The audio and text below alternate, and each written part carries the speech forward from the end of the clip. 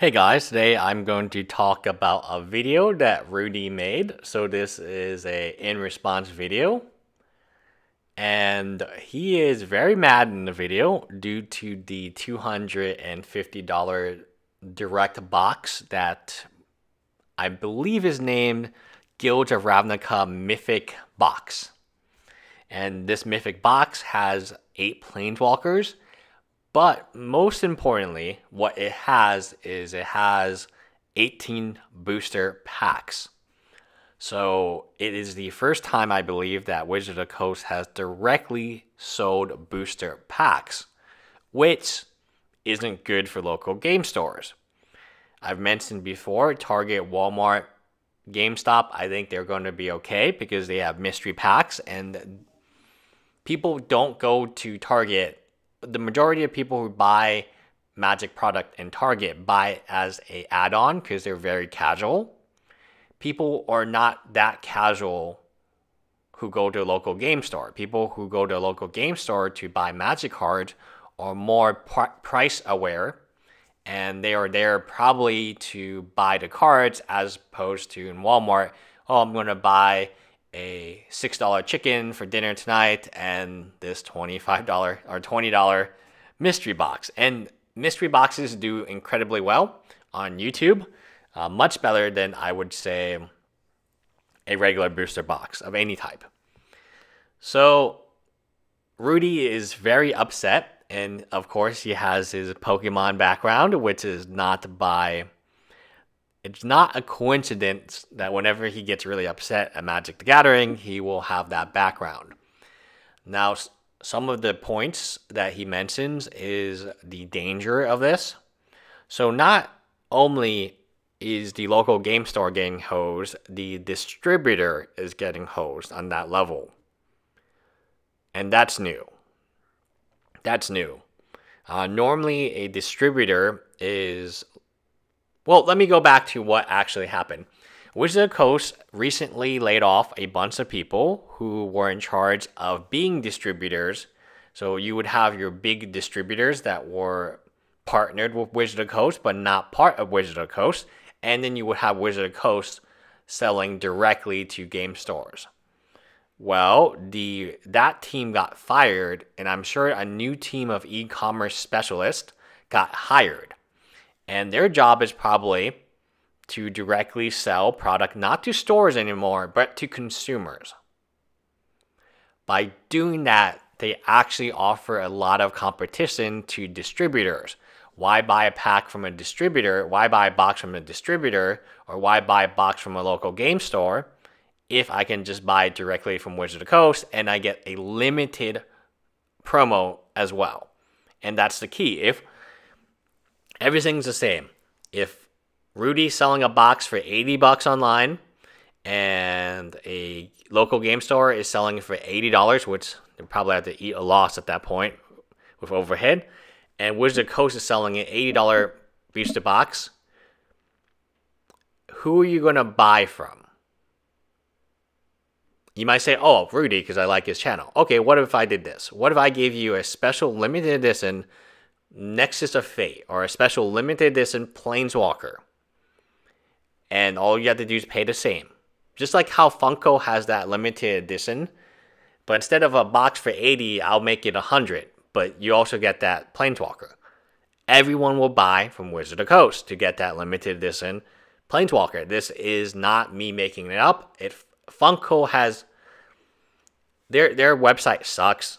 Their back end uh, my friend collects a lot of Funko figures, and one day a week, I think Monday, Tuesday, one of those weekdays, they post exactly at noon or something, or nine or something, midnight maybe, and people go and buy it, and then the website crashes. So my friend wants to know, like, oh, hey, like, why does that happen so much? And that's we had a long discussion, so I know about the Funko limited figures. I know that some of them sell out within 10 minutes. And if you leave it in your cart, that's not enough. You have to actually get to checkout. And sometimes you have to use the app. The regular website doesn't have that figure. You have to use the app. And then sometimes the app is broken and you have to use a website. So there's a lot of, there there's a very large team that's trying to figure this out. Every single business is going online. It doesn't matter if you're Walmart and you have all these great retail stores. No, they're working super hard to try to convince customers to order online and then do pickup or delivery. Amazon obviously is a behemoth, right? They bought Whole Foods, so now you can get your food really easy online. I order all the time from Amazon online uh, for food. All of our company snacks are ordered from Amazon and it's repeating because you get that 5% discount. This is very, very bad for Rudy. This is very bad for local game stores. If you own a local game store and your core revenue is selling boxes, you're going to get hosed because Wizard Coast is not selling boxes, and there's no way for you can compete against them because you don't have these limited edition special masterpiece planeswalkers. And as much as someone loves your local game store, they don't. I, I love my local game store, but they don't have this product.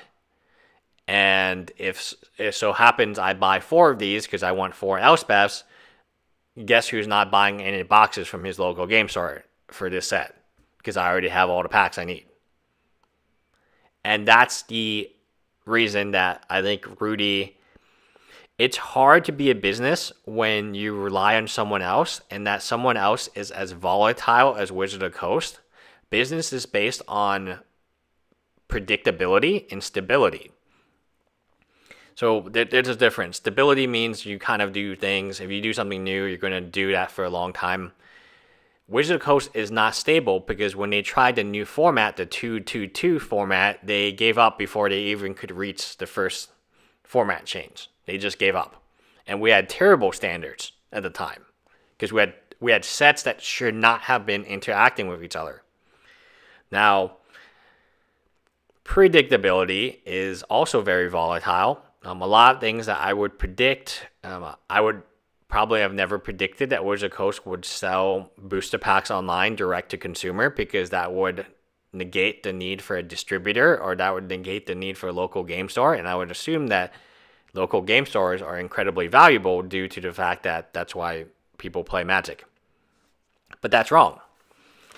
What Wizard Coast is saying is hey, the majority of players are casual players, they play with their friends, they play at home, they play at school.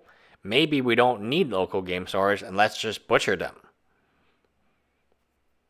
And that's what they're getting done. Um, that's what people can still buy magic cards. If every local game store goes out of business, you can still buy magic cards from Walmart or Wizard Coast Direct or eBay or any of these online retailers.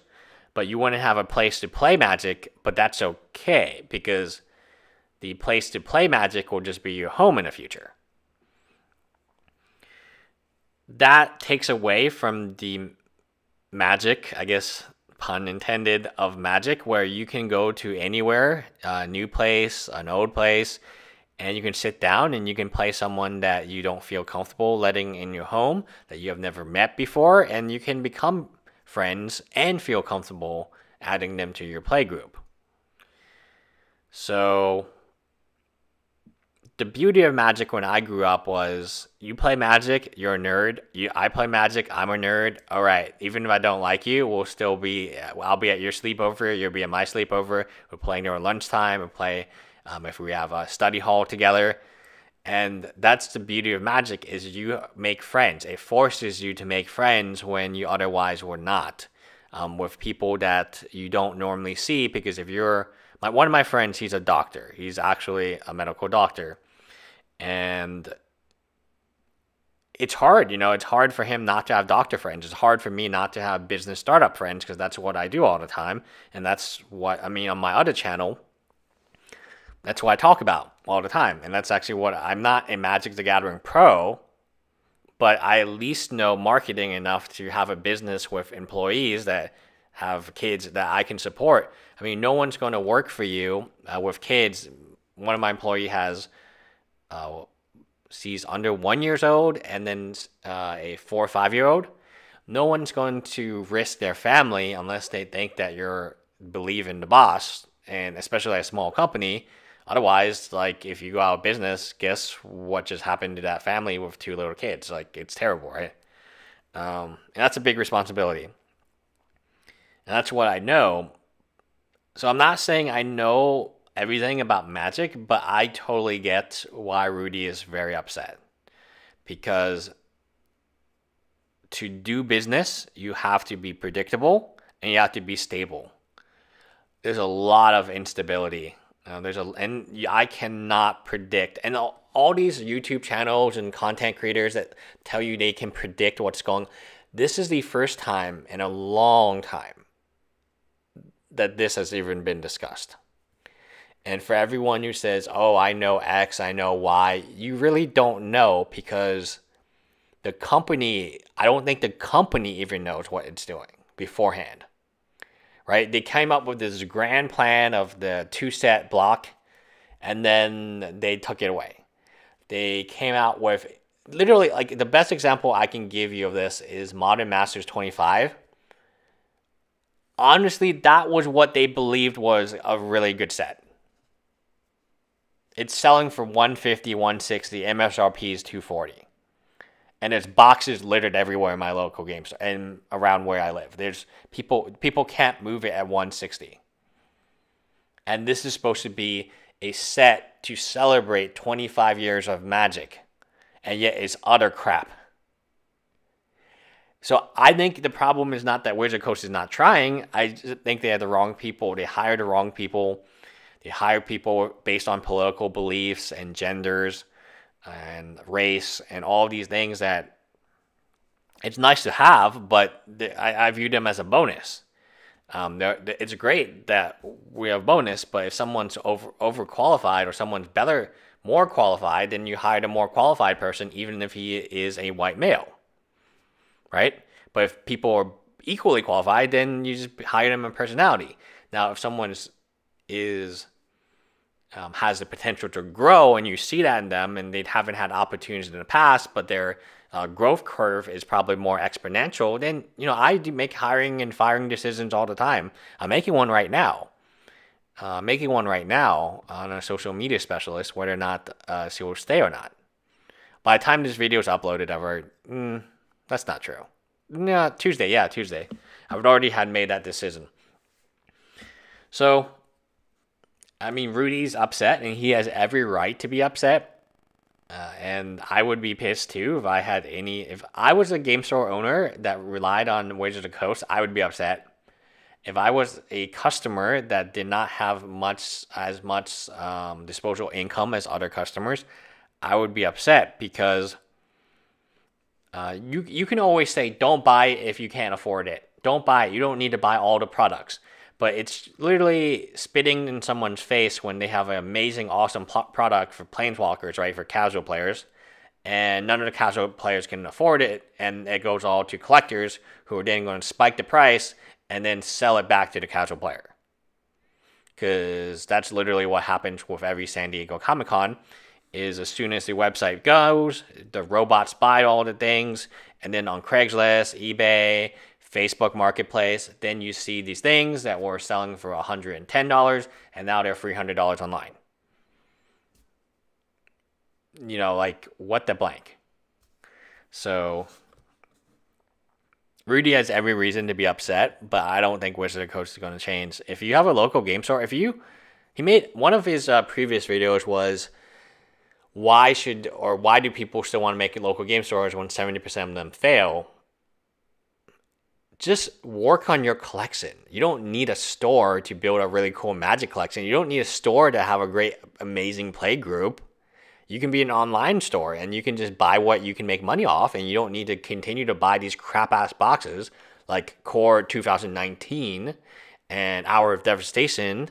Like, you know, it's bad when people have to say Commander 2018 was a good set. Like, people are saying this. No, the MSRP went up the card quality went down. The expected value, I mean, they could have thrown so many one or two dollar cards to make it actually a, a good product, but they chose they chose not to.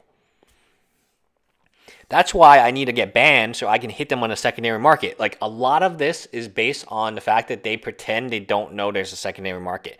A lot of the problems, if not all the problems in the MTG economy is based on the fact they cannot recognize the secondary market, otherwise, they would be construed as gambling. and then maybe you have to pay a tax or a fee to the government. God forbid you pay taxes to the government, right? And that's what Hasbro wants to avoid. They don't want to be called a loot crate. They don't want to be called gambling. But by doing this, clearly they recognize that they're secondary market value. They didn't pick the best planeswalkers because we will get another product. And uh, what's it, Ravnica Allegiance or Alliance or whatever? I'm sure that we'll have more Planeswalkers in that product, and that'll also come with 18 booster packs of uh, Ravnica Allegiance. Terrible. Just uh, awful. But that doesn't mean I'm not. I mean, I don't know. Maybe, maybe I, I won't buy the product, but I really want that Elspeth. Anyway, bye guys.